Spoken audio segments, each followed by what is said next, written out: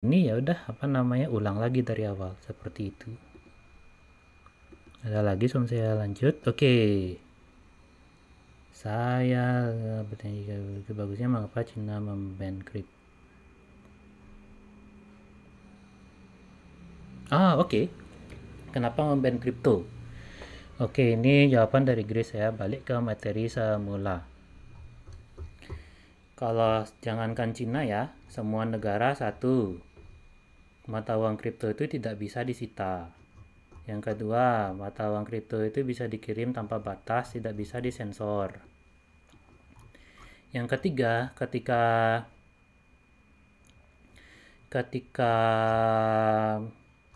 ketika masyarakat masyarakat Cina itu beli warga Cina itu beli Bitcoin, uangnya itu ke mana? Setelah uangnya setelah mereka beli Bitcoin, ya uangnya itu keluar dari Cina.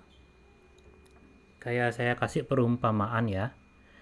Uh, misalnya misalnya Facebook. Facebook sama Twitter. Kok Facebook sama Twitter di ban di Cina? Kalau karena di Cina itu kan uh, merupakan mempunyai warga yang terbanyak di dunia nomor satu populasinya. Kalau misalnya warga Cina itu pakai Facebook sama Twitter yang kaya siapa? Yang kaya Amerika. Kenapa mereka pakai apa namanya Weibo pakai WeChat dan pakai WhatsApp atau dan sebagainya. Kalau mereka pakai WhatsApp ya yang diuntungkan itu ya ya apa namanya Amerika kalau mereka pakai YouTube ya yang diuntungkan Amerika. Pakai Google jadi ya diuntungkan Amerika mendingan pakai Baidu.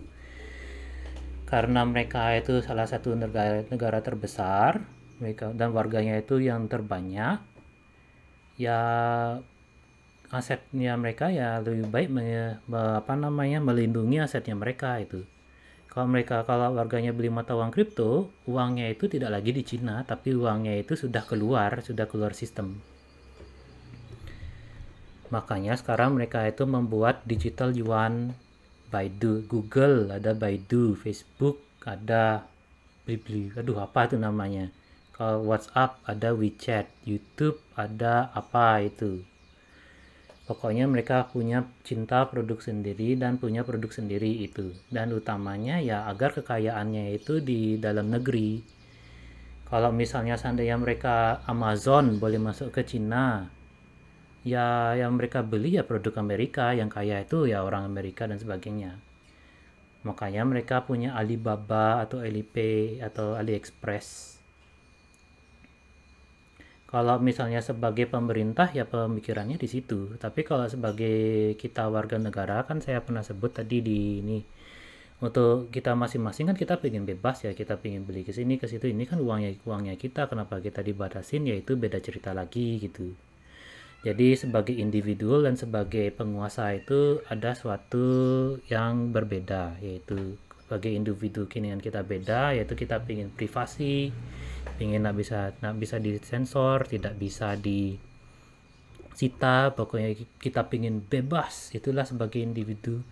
Tapi kalau kita di di kalau kita di sepatunya di jejaknya pemerintah atau otoritas yang kita pikirkan bagaimana agar uang atau kekayaan kita itu tidak tidak keluar tidak keluar itu agar kekayaan kita itu tetap di dalam Cina